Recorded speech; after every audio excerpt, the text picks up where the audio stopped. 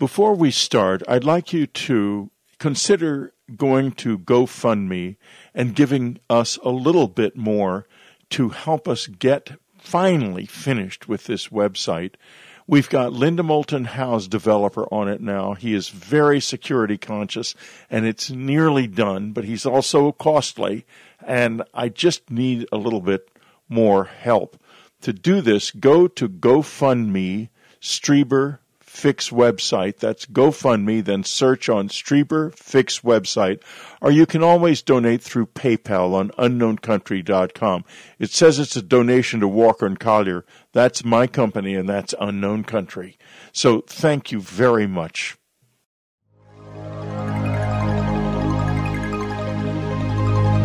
This is Whitley Strieber, and this is Dreamland. You've reached the edge of the world. Well, Dreamlanders, today I am very excited to have somebody with us whose work has interested me for a long time for an extremely special reason.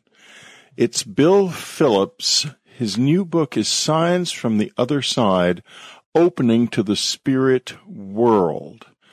Now, what Bill can do is something that a lot of Afterlife Revolution readers have asked me about, which is, well, you got into contact with Anne, and that's great. How do I do it? Well, we're talking to an expert today. Bill, welcome to Dreamland. Thank you for having me, Whitley. You wrote Expect the Unexpected, and you've been a medium for a long time. Uh, can you start by telling us a little bit about what it, when you became a medium and when you, let's start with when you found out you were a psychic because they're two different things.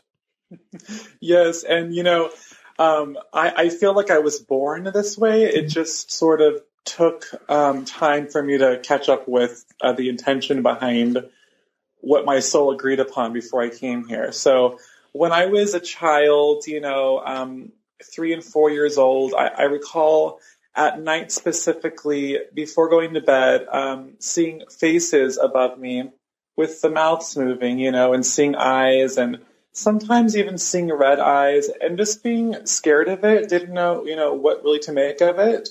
And my mother at the time told me that I had watched too many scary movies, you know, too much Freddy Krueger. um, and so that it was a fragment of my imagination. So of course, as a child, you know, um, my my subconscious mind accepted what she said, and it and it closed off for a while.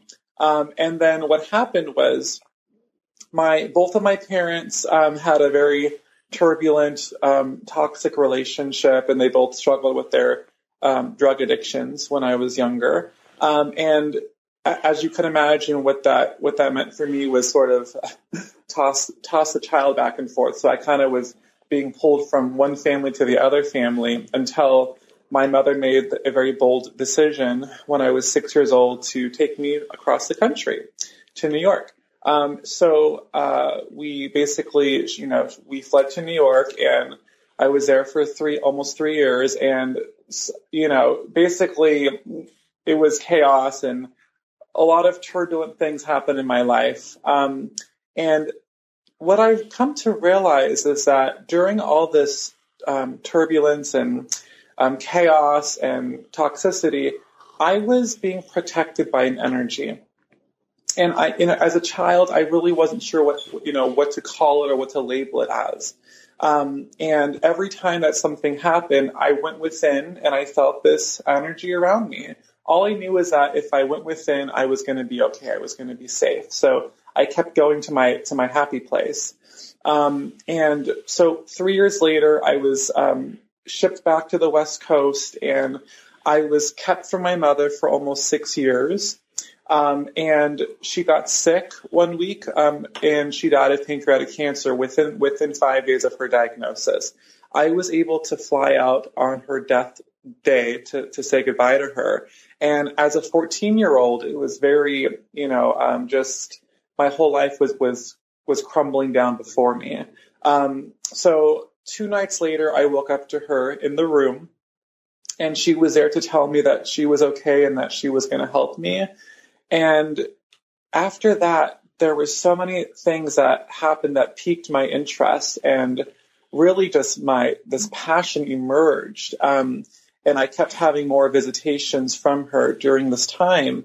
And that's really where it began. So she was able to come to me in spirit and basically validate that, you know, what she had thought previously was just my imagination actually was, there was something happening there. Um, so I had these experiences and then I even had a psychic when I was 15 approach me and tell me that I had this gift, but it would be three years until I understood what she was referring to. And three years almost to the date, I found myself in a metaphysical shop randomly um, on a class on how to develop your mediumship and your psychic skills. And that was the moment that I understood that what, what I was experiencing was, was real.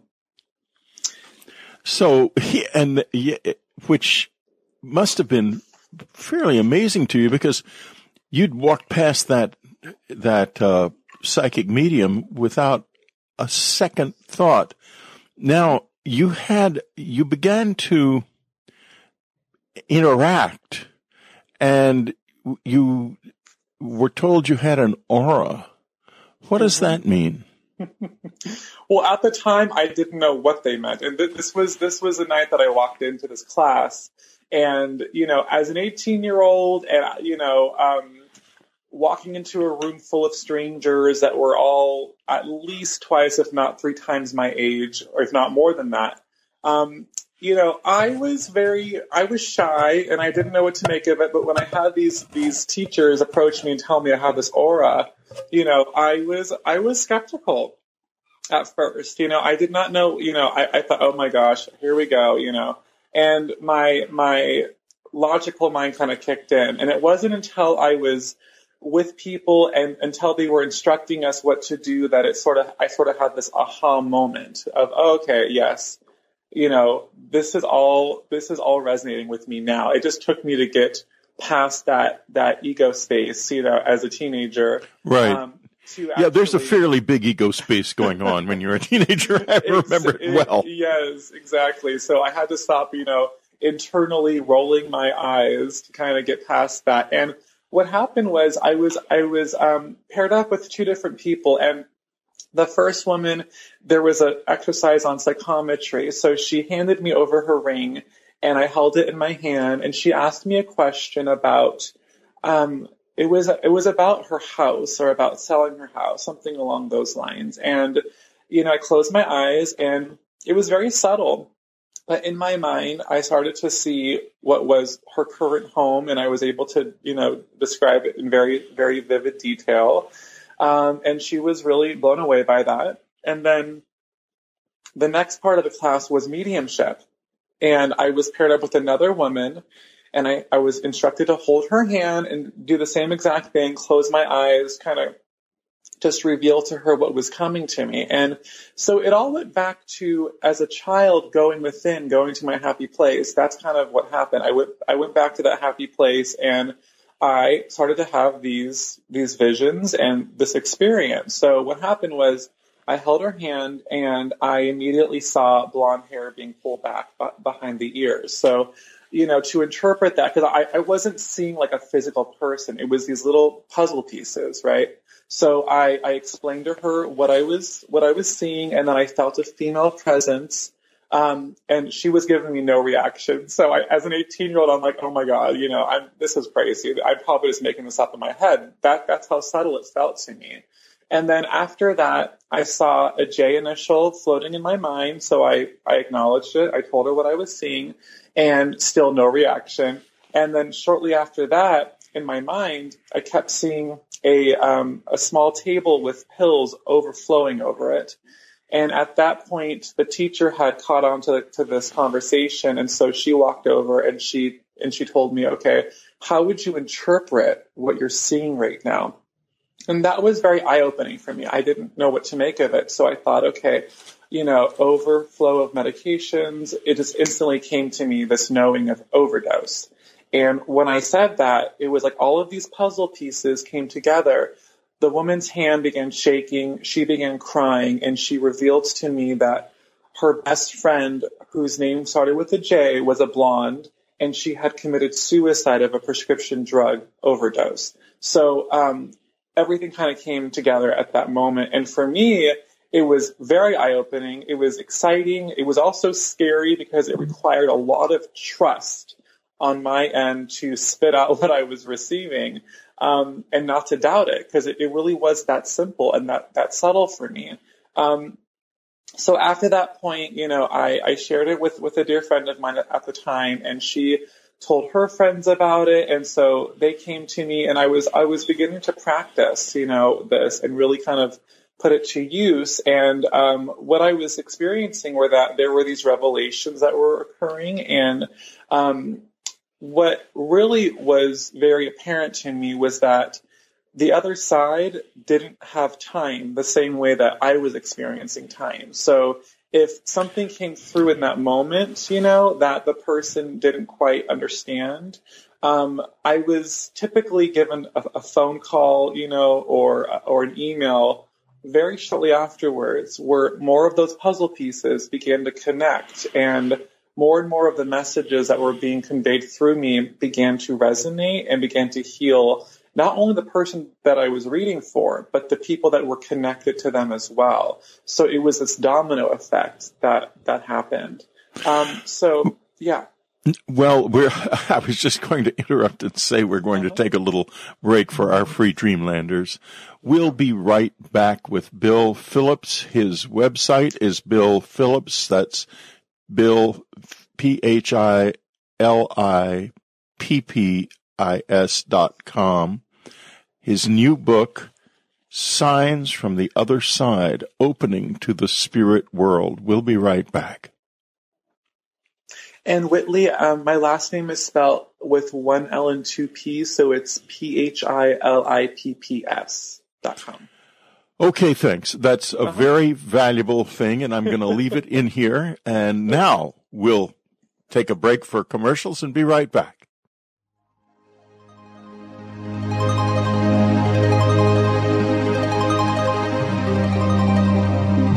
You've probably heard the music for years. It's the theme song for Dreamland. But you may not know the name of the piece, The O of Pleasure. Or the name of the composer, Ray Lynch. Ray Lynch is a three time Billboard Award winner. Ray is also the composer of the platinum album Deep Breakfast. Pandora calls Ray one of the most influential artists in New Age pop and adult alternative circles.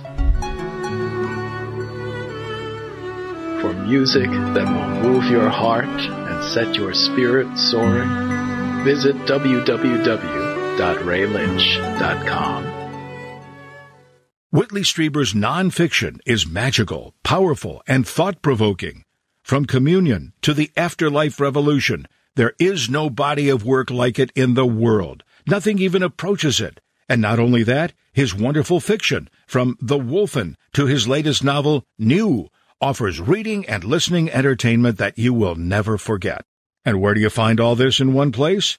At Strieber.com. That's where. Every Whitley Strieber book available for sale is there. So don't wait. Go to Strieber.com and start exploring.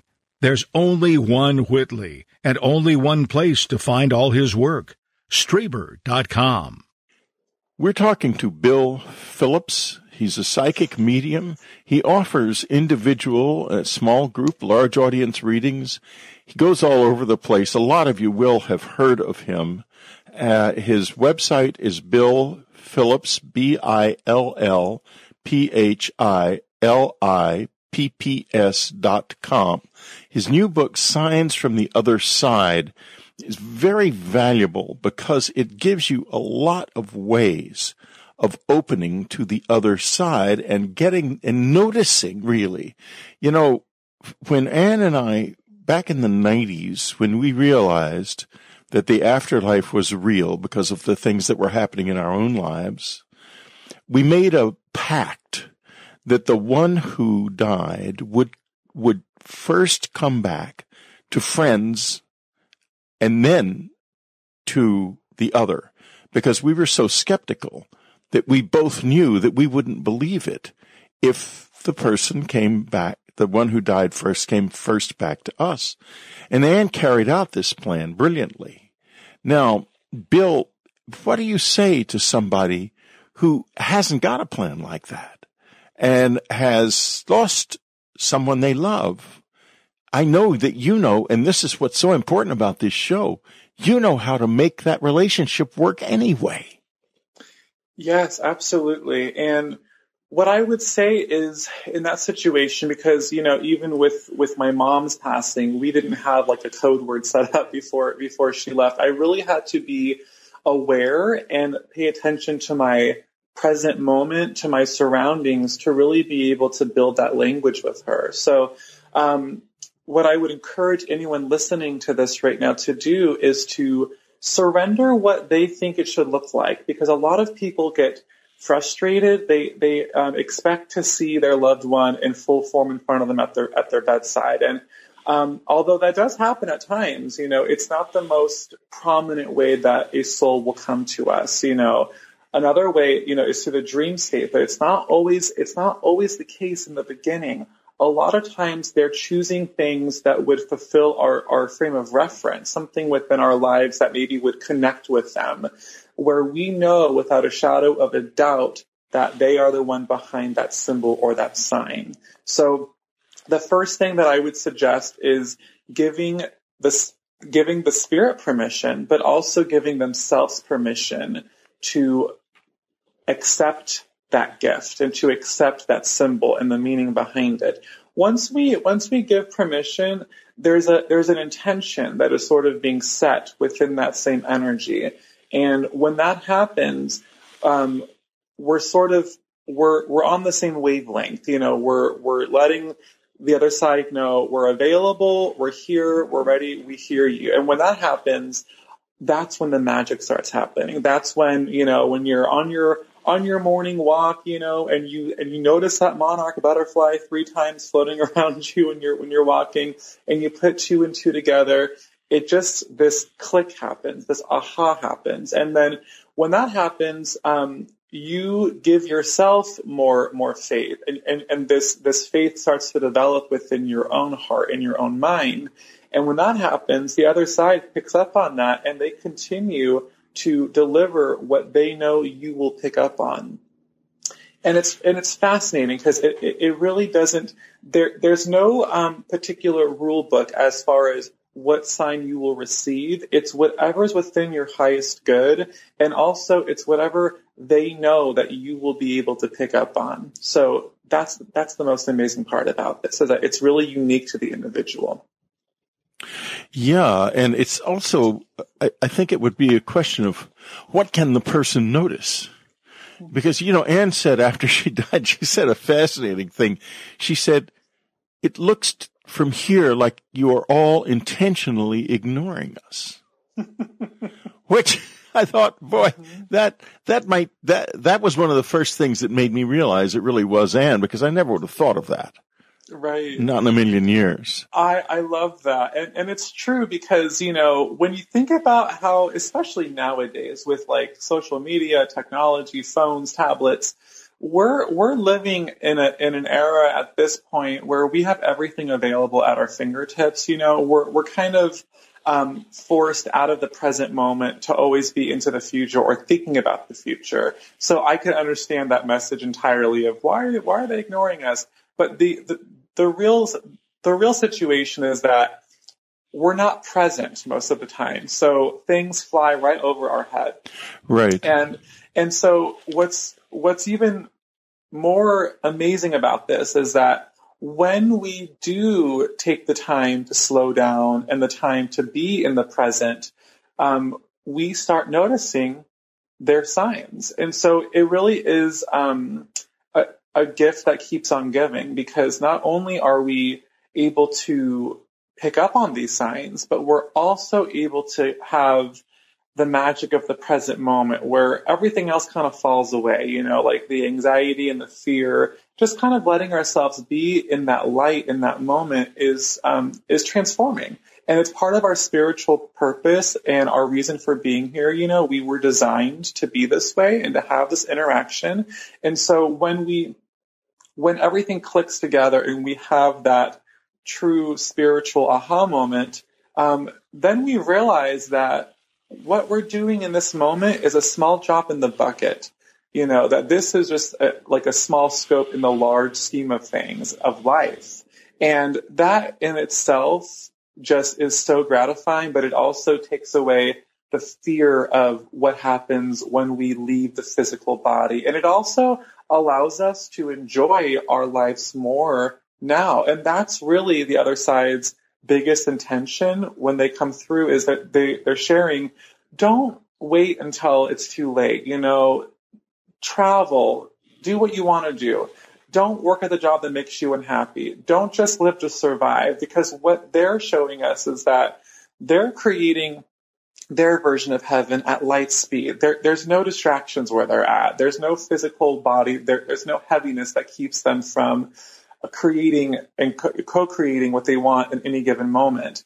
And what they realize is that when they were here, they could have given more of their faith to that. So they're really here to inspire us now to do that, you know, to whatever degree that we can do it at to experience why we're here, because every soul here has a purpose.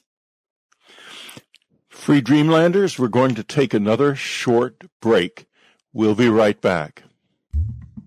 Aloha, Jeremy Vaeni here, and I want to tell you about my latest undertaking, OurUndoing.com. OurUndoing.com is a multimedia website where if you watch, if you read, if you listen, without trying to absorb knowledge like we do with normal learning, and without the normal judgmental filters that we use to compare and contrast so called spiritual knowledge, if we watch, if we read, if we listen without all of that, we may just wake up to our full human nature. That is what this website is for. It's not about what we're doing, it's about who we are, truly are, when we're off the pendulum of duality.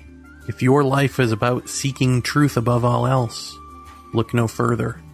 Join me at OurUndoing.com. UnknownCountry.com. Daily news you can't get elsewhere. A powerful search engine that can open your mind to a world of wonderful news stories dating back 15 years an insight section like no other. Whitley Strieber's legendary Dreamland.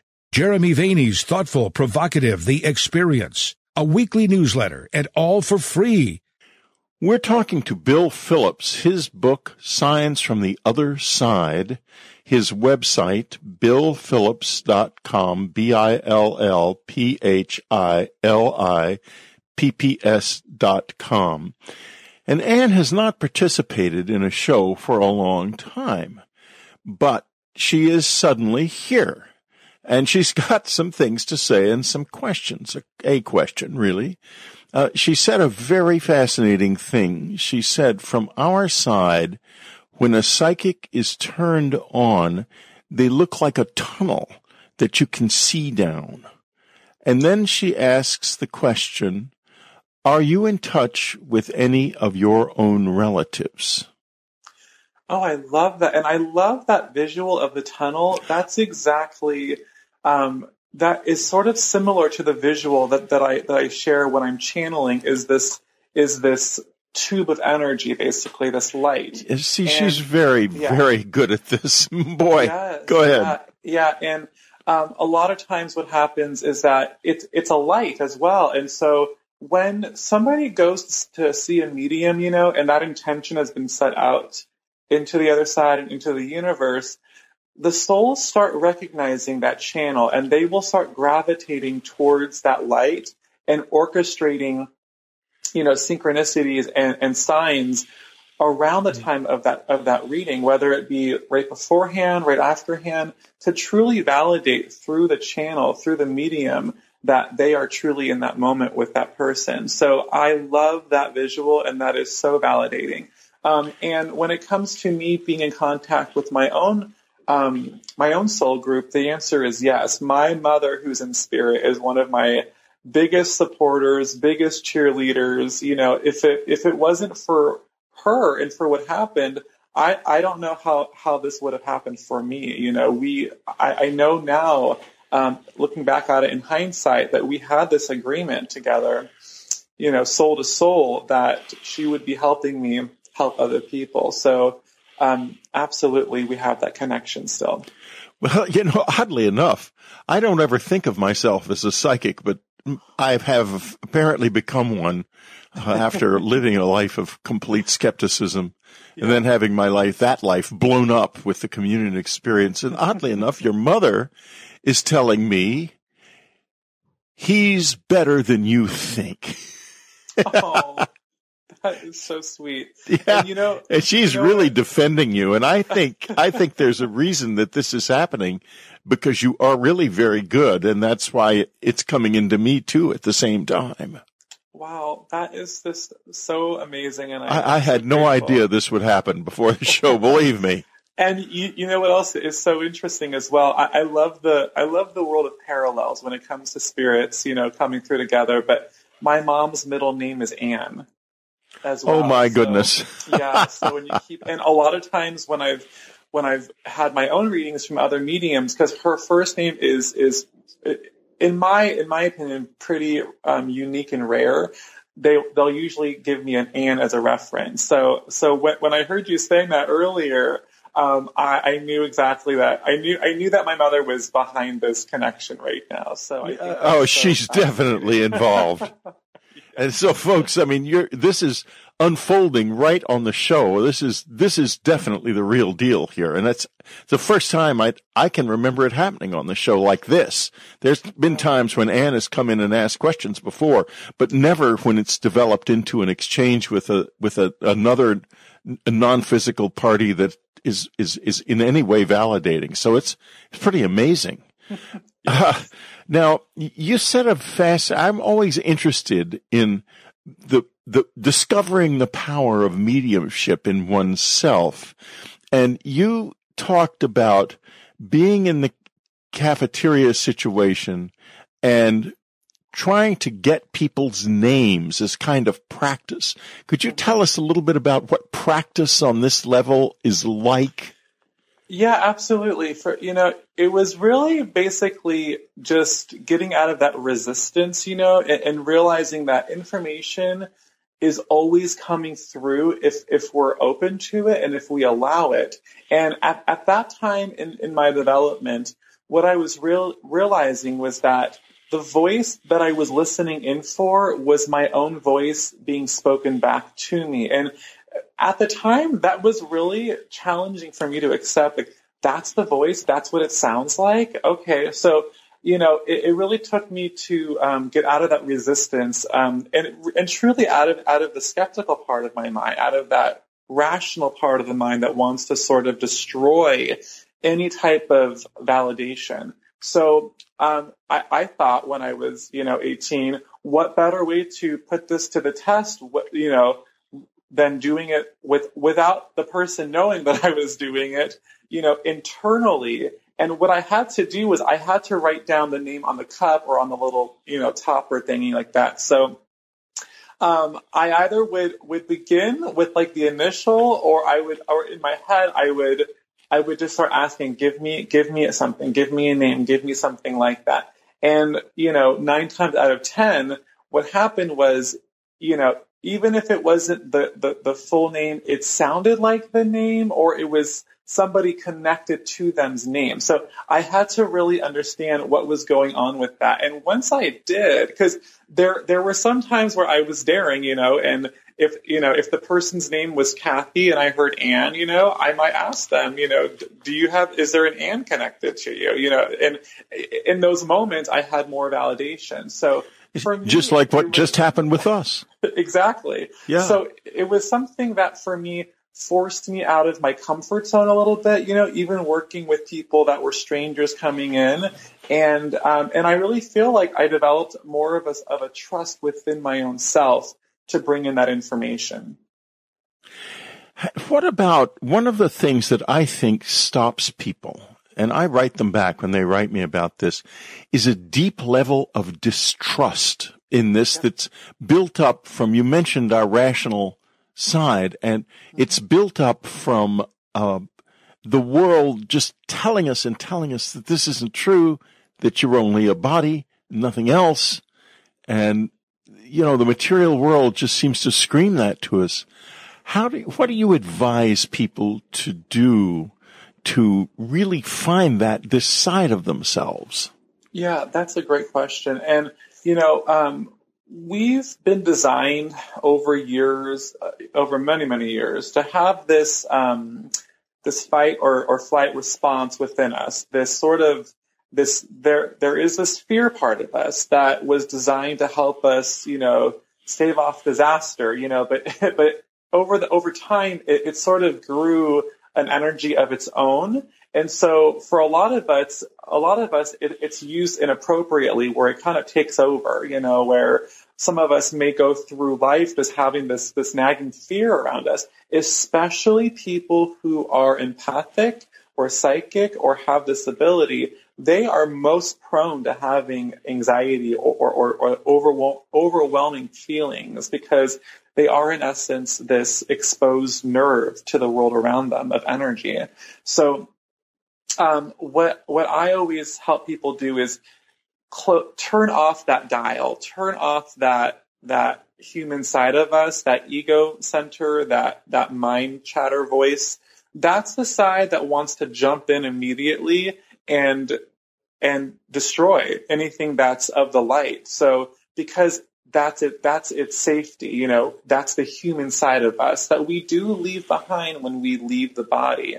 So I always, um, you know, because I, I do teach about this as well, and I always encourage people with visualization, setting the intention. And I, I like to give a, a visual in a few ways. One way is literally visualizing a a knob, like if you were in a car on a stereo or something or a radio or something like that and, and labeling that, you know, ego or labeling it rational or whatever, whatever reference works for the person and turning that knob all the way down until you hear click, until it's in the off position. That in itself sends a signal to the, you know, subconscious mind part of ourself and it does do something. Um, but for everyone, it's, it's within their own frame of reference, whatever's going to help them get out of that mind frame. You could also just visualize your channel being open and seeing that light flow through you where anything that's dark or not of the light can't touch that that signal you know because it really does come down to the signal and you know a lot of time it's just it's it's living it's living in love and when we live in that love energy and in that high vibration the fear can't really touch us. It, it, might be in the background a little bit as, as a static, but when we consciously make the decision to ignore it, you know, or to not, or to not feed it energy, then it does diminish, you know. And yes, it'll always be there because we are only human on, on, on this level as well. So we have to kind of let it sit there in the seat next to us and acknowledge it. But especially when it comes to um, to receiving information that's di- that's divinely sent, whether it be psychically or from the other side, um, it really does take an incredible amount of trust because it's very subtle, because it's very natural. It's a natural part of ourselves, and I think because of how pop culture has created this sensationalism over, you know, uh, movies like The Sixth Sense, you know, stuff like that where where people expect to have this dramatic encounter that that also feeds the ego as well. And when someone is expecting to have that huge type of dramatic revelation when instead it's a very simple whisper in their mind it is challenging in the beginning. Yeah it why, it yeah. is exactly. It's a whisper often and it often sounds like your own voice Exactly. This is this has been a huge issue for me right now because I'm writing a book that Anne is heavily involved in working on and others too. And it's really hard for me to just let them talk. Gosh, mm.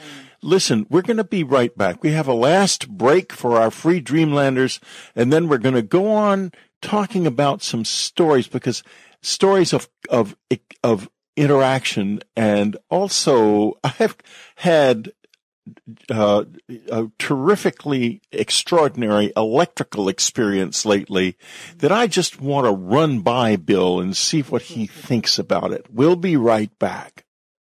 UnknownCountry.com. Daily news you can't get elsewhere. A powerful search engine that can open your mind to a world of wonderful news stories dating back 15 years. An insight section like no other. Whitley Strieber's legendary Dreamland. Jeremy Vaeni's thoughtful, provocative The Experience. A weekly newsletter and all for free. We're talking to Bill Philipps. His website, billphilipps.com. That's B-I-L-L-P-H-I-L-I-P-P-S dot com. Signs from the Other Side is his new book. A real, practical, useful book. And it's full of stories of contact and also very subtle things about how to do it, and especially this stuff about voices, because you're hearing from the other side now. You just don't know it. That would be mm-hmm. true, wouldn't it, Bill? You'd say that. Oh yeah, and you know what's what is so awesome is that the most subtle the most subtle things, you know, people don't even realize, you know, when let's say that, you know, let's say that a woman has lost her father at an early age and she has this memory that comes to her when she's in her grieving moments of him laughing, you know, or him telling her it's going to be okay. That memory actually is a is a communication from that spirit implanting that moment of time as a reference to, to give comfort. So the other side is always giving us this comfort. And, you know, whether it be through uh, physical signs or symbols, but even the most subtle signs, even these memories that come to fruition, that come to mind unexpectedly, that is also a way that they're trying to get our attention as well. So it's super important to give them credit for any any way, shape, or form that they want to communicate with us. Now, I have in my life something or someone from the other side uh, who is a little heavy handed. And here's what I mean. I came home from a 10 day trip about a week ago to find that my smoke detectors were beeping, or the smoke detector was beeping, I should say, because its battery was dead. No big deal. I changed the battery, but the new battery was also dead, which was odd, but still no big deal. I went out to get an, some more batteries because you don't want to leave the smoke detector dead. And the car battery was drained. And so I got AA, AAA here and got the car battery fixed, went out and got the batteries, then came in, put them in, sat down to turn on my computer, and it was completely dead. Mm-hmm.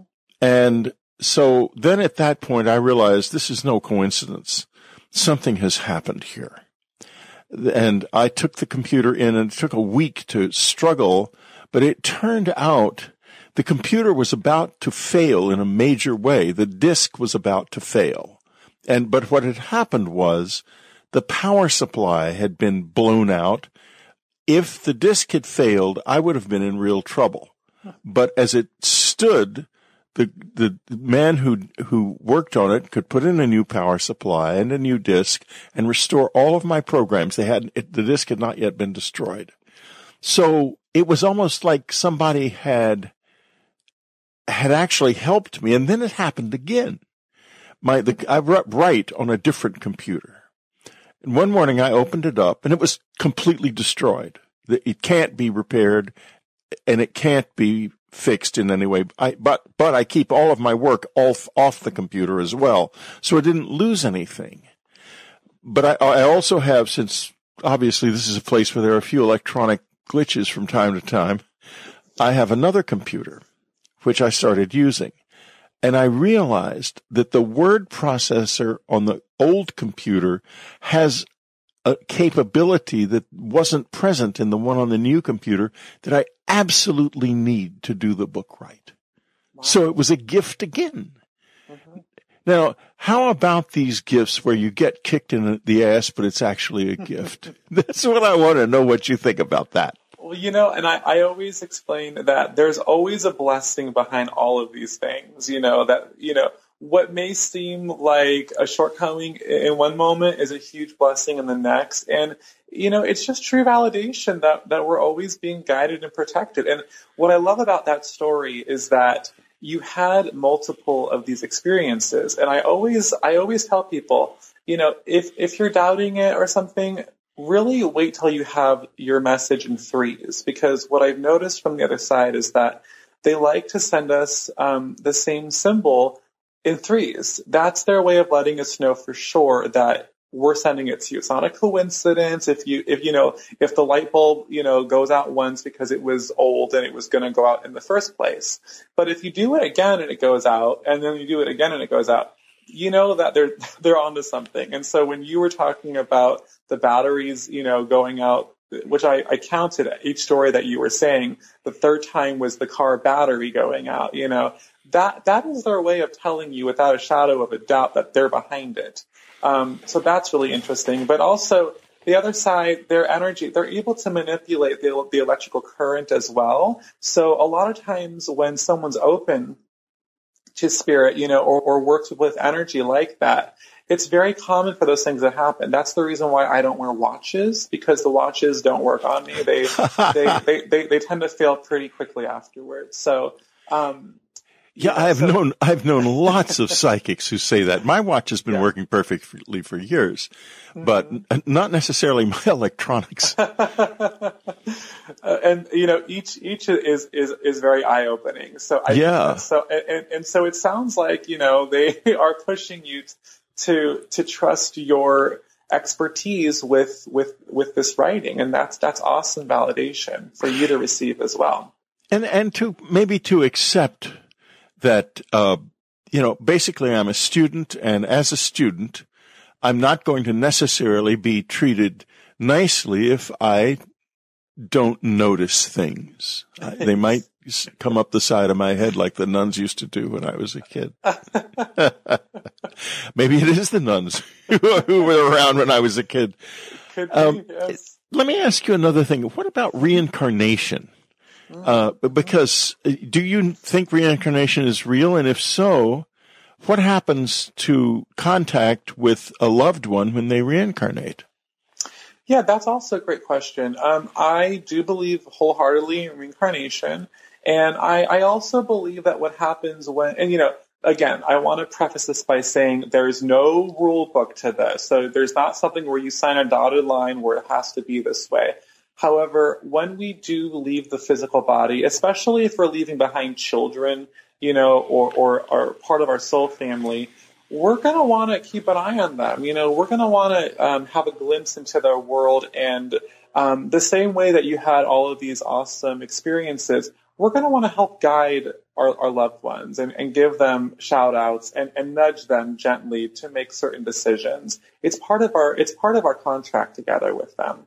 So what happens is that the soul leaves the body and that soul watches over that generation below them. So typically what I find is that it's usually a soul hanging out for a generation, typically watching over that soul group until everyone goes up together and then basically reassigning roles. Like, okay, this lifetime, I was your son, you were my father. Now in this lifetime, we're going to be brother and sister and we're going to have this really chaotic relationship and it's all going to be around forgiveness, you know? Um, so we're always, we're always learning more about our, our soul nature when we come into a physical body and when we when we reincarnate. Um, now, with that also being said, I also believe that the essence of a soul is always connected to the other side as well. So even if the soul has reincarnated, there's always a slice of that pie that remains over there as a guiding light on that journey. You know, this book's full of wonderful stories. And, you know, they're inspiring because of the fact that you read these and you realize, actually, I can do this. This is, this can be part of my life. I can learn to listen to that whisper. Can you, let's, why don't you tell us a couple of stories? The Nancy story is the first one that you should tell us, of course. Oh, yes. So this is one of my favorite ones. Actually, I have a few favorites. This is one of my favorite ones, though, when Nancy had lost her son and she asked him to send her a rainbow. And and it happened very quickly after her her request. So see what she did was she gave permission. She she built, built this dialogue with her son in spirit. And she's at home cooking dinner, you know, and goes out to her window that overlooks the lake.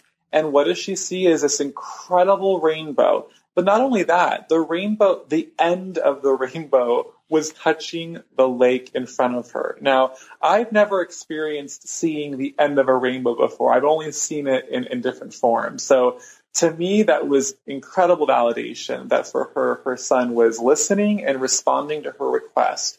Another really cool story that I love to share is um, there was there was a husband that had lost his wife from breast cancer, and you know they they both didn't have necessarily uh, you know a desired faith or religion that they were connected to, but um, a few months after she passed, her name her name was Heather, and Jeff decided that he wanted to start a new, he wanted to get a new home and, and start start a new life. And so he um, goes, and the house is is being built still, and he goes to meet, you know, with the contractor and see what's going on there. And um, before he leaves, he notices that they have a tag on the wall that indicates the paint color that, that they're going to use to paint the walls with.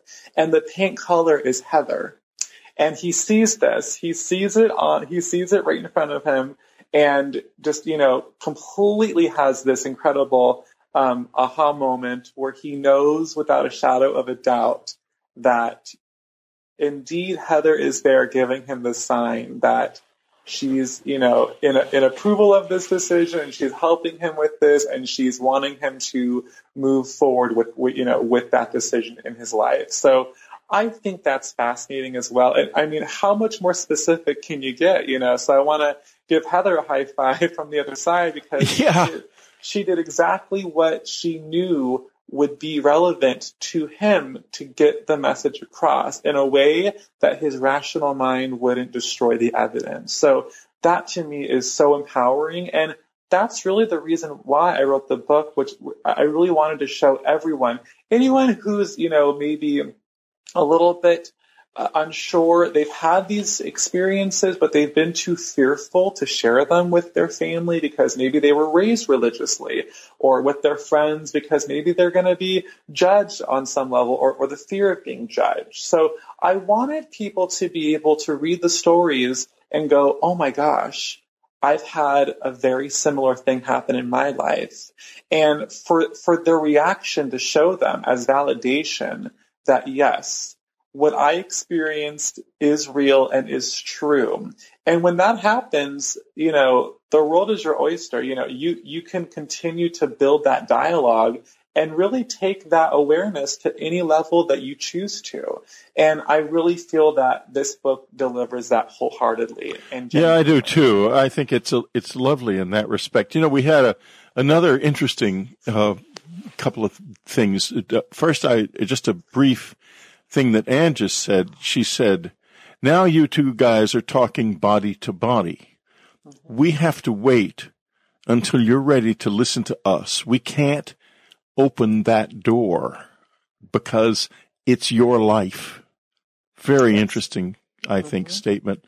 And the other thing is this, the reason I wanted you to talk about Nancy first was that the was the story of the rainbow, and this has a this rainbow has a huge tradition in Tibetan Buddhism, where it's known as the rainbow body, and the, uh, of course in in the Bible there's the rainbow sign, but after Annie died, and we, I was going to her wake with my son in in Texas one rainbow after another appeared, and the same thing happened with one of the rainbows. You could see the end of the rainbow right by the roadside. I'd never seen it before in my life.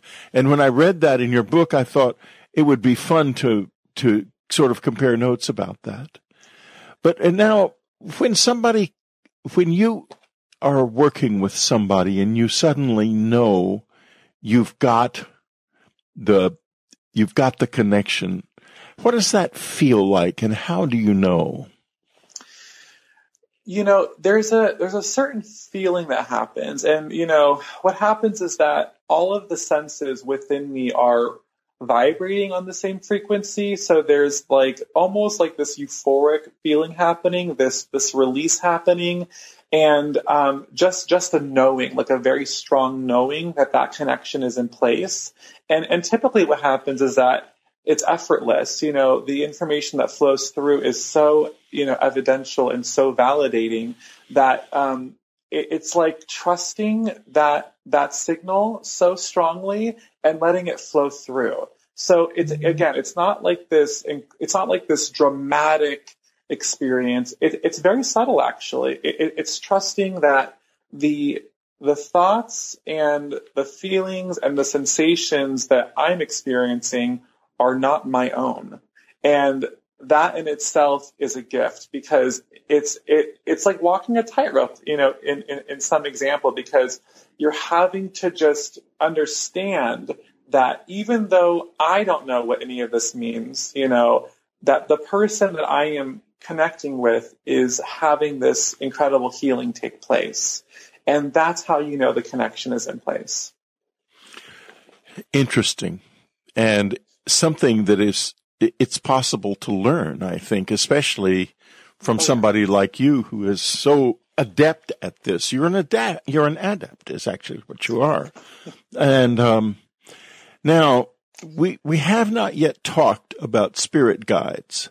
We've only talked about loved ones, but I, I would like you to tell us more about the difference between the loved ones and spirit guides and what a spirit guide is and can they sometimes be the same? Yes, and a lot of times they are the same. So we, we have a committee of people that surround us, of spirit that surrounds us. So um, we have guides that were that were assigned to us, you know, since we were born. It's like it's our master guide. It's someone who will be with us from the very beginning of our physical life until the very end of our physical life. And within that spectrum, um, we have different guides that are sent to us depending on the lessons that we are learning in that given moment. So a lot of times as well, um, a spirit guide could be somebody that, let's just say, um, died of uh, of an overdose, you know, in the physical world, and now has this mission of helping people that are struggling with addiction sort of understand their place in the world. So that would be an example of how a guide could sort of um, work back this this karmic debt in a sense to help clear or, or to help heal or help someone who's still here in the physical world. Um, I see that a lot when I'm when I'm channeling. Also, um, in my case, you know, my, my mother who, you know, passed away younger and w- when I was younger as well, we had this agreement on a soul to soul level that she was going to be one of my main guides when that happened. So a lot of times that is what, what occurs. Also, what I find happens a lot is let's say that someone loses a grandparent, you know, a couple years before they're born or right around their their first couple years in the physical world. Um, I, I find a lot of times that, that grandparents are also sent to us as guides and that they kind of had this agreement that they would leave, you know, right around that grandchild's birth um, as an indication, as a validation that they they set up this this soul contract, you know, to guide us. Um, we also have ascended masters these highly ev- um, evolved beings that came here for very big purposes um, that we also can call upon, that also work with us, you know, directly or indirectly, depending on what we're doing within this lifetime. And then we have the angels as well that have never been before physically here. They're the they're a very bright light energy form. And we have all of these um, beings of light that make up our, our, our committee over there that are guiding us, helping us, not intruding too much, like you were saying earlier. They they're they they don't want to affect our free will with making these decisions, but they at least want to give us the options. They at least want to show us the door, but it's our responsibility and our free will whether or not we walk through that door or not. You know, I was at a meeting night before last, and I was sitting there, and it was a very deep meeting. It's a weekly meeting about some about books, but it's it's really a deep group. They they're very into a lot of spiritual stuff. It's a spiritual, very spiritual group, and I saw in my mind's eye a door opening, and you have given me an opportunity to ask about. I thought earlier I want to ask if he has any sense of that door, and now suddenly you bring it up on your own. So yeah, it's time for me to ask you what about the door that just opened in me? That's amazing. And you know what's interesting is that, you know, we're especially someone who who shows up to do this work daily, you know, um, there's always little charades that are coming in that words popping out, things like that. So it's sort of like when you ask, the answer is given. That that may be a, a message for you least that the, the, the door's opening, you know, for, for you to be that example for other people or, or possibly for you to take that to the next level. I think it is. Uh, yeah, and I, I have a feeling I know where, where to go with it and I'm going to, I'm going to try that. But I thought it was very confirming that you would bring that up. Yeah, absolutely. Now, also another thing that fascinates me that there are, there, there are certain things in this that are just so universal, like the use of phones, the use of license plates. Could you tell us about that? Yeah, and I, I've actually had an experience with that. So, um, like I was saying earlier, they're able to sort of get our attention or in some ways manipulate our attention to look a certain way, you know, or or to do a certain action. So a lot of times they orchestrate these experiences where you get on the freeway, you know, and let's say, you know, your grandma's name was Lucy and you um, get on the freeway, you're thinking about her and this car cuts you off and it has a, a, a sticker that has Lucy on the, on the back of it. That's how they work. So one day years ago when I was needing like a lot of just physical evidence in that moment. You know, my my rational side was kind of taking over, my human side was kind of there, and I just needed to quell it. And so I was like, "Mom, you, I really want you to show me a very strong sign that that you're with me. I, I need to be irrefutable, and I want it within the next 24 hours." And so the next day, I was on the freeway, and um, I was getting on, I was merging onto the freeway. It was, uh, the, uh, it was the, the five freeway, actually, the five south. And I was merging on in California.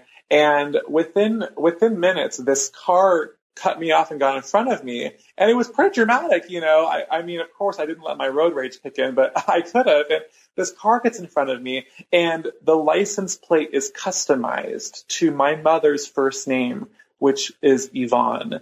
Now that's a, that's a very specific thing. And, you know, I had the chills. I was emotional. I was crying, you know, I was tears of joy. It was this, this, this amazing moment where I, you know, just had more evidence and, and, and also had fun playing with it as well. And, and just, and, and just being in gratitude to her. Thank you so much. I, I, I know, I know, I know. And so what, what happens is that we're also given a physical response at times that is another validation for us.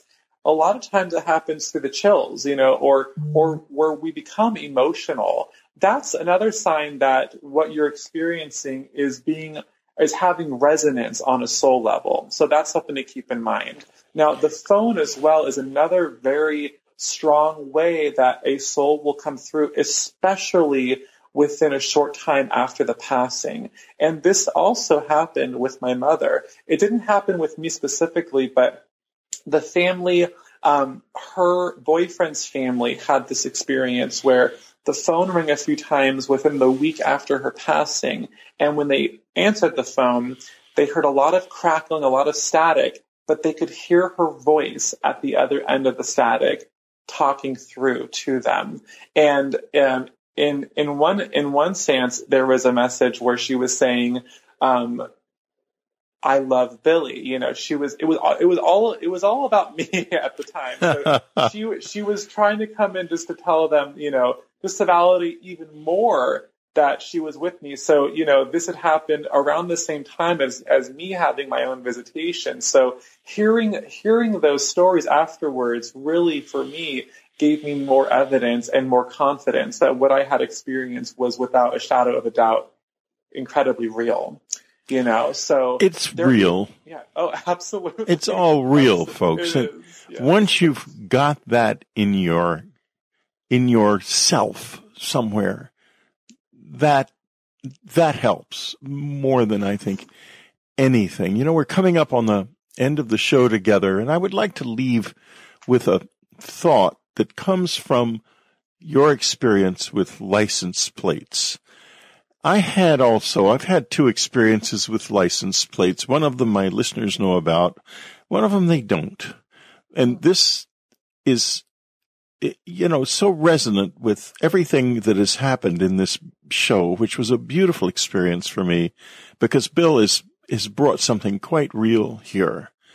I was driving about a month or so after Annie passed away and I was so lonely and I happened to hear a song by a group called Cantus called Wanting Memories came up on the radio you used to rock me in the cradle of your arms. You said you'd hold me till the pains of life were gone.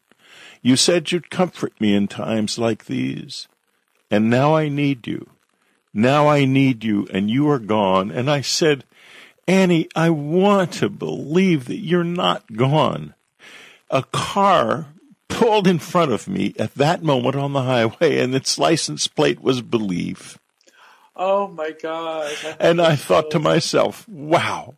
And I'm, I'm saying to you folks, listen to what Bill has to say. Signs from the other side, opening to the spirit world. You surely can do it. It's a beautiful show, Bill. Thank you so much for being with us. Oh, thank you so much. And I don't know if you noticed the the static happening as you were sharing that story right now through the phone line. I hear it. I hear it on my end. So oh well, I, it didn't show up here, but uh, my listeners are used to all kinds of crazy noises on the show. It's no big deal for us. Anyway, folks, I love y'all so much, and thanks for listening to Dreamland. You've been listening to Dreamland. Be sure to tune in again next week. Dreamland is brought to you by UnknownCountry.com and its family of subscribers. Unknown Country was founded by Anne Strieber. Our news editor is Matthew Frizzell. Our coordinator is Amy Safrankova. Whitley Strieber is your Dreamland host, and I'm your announcer, Ted Alexander. Thank you for listening.